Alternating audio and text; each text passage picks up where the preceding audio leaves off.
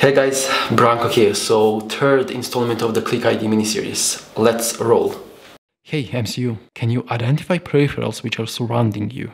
Sure, I need board to connect to, then a couple of moments to perform the ID overview. Okay, board with SiBRAIN socket and SiBRAIN card. Well, MCU, show me what you got. Sure, I'll start with the peripheral identification process part, identifying two regions of the clickboard. There is Click's primary court and Click's identification court, which is Click ID in short. Pulling down the reset pin now to put the focus on the Click ID, in essence, an EEPROM memory which holds the ID of the clickboard accessory. Initializing protocol called OneWire for reading out identification which you strongly desire.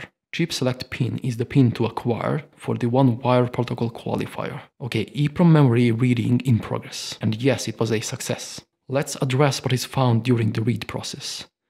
Name, serial number, hardware revision, and type of the click. Retrieving intel to the curious engineer, it was quick. Now I'll stop with this click ID rhyme drop.